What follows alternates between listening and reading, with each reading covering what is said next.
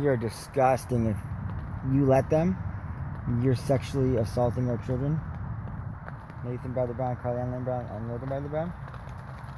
And abusing me and torturing me. So you're part of the people who have been doing this for over 8,064 hours. Right? 365 days this whole year, 24 7. Okay, that's unbelievable. Sherilyn Meyer. Mark Dion Meyer.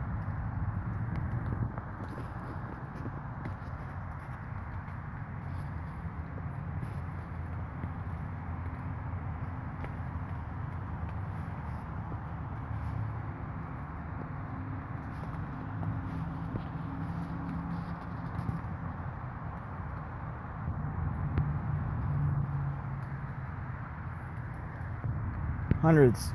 1,769 audio files. Hundreds of hours. 20 different government agencies documenting.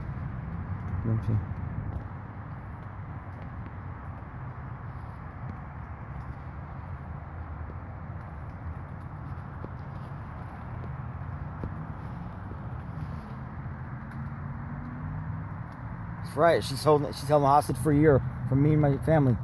I have custody orders and she has five vehicles up there, and I have none.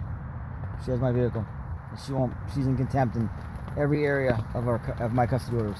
And she still hasn't done the 20 counseling classes. She hasn't done. She hasn't passed any of her drug tests.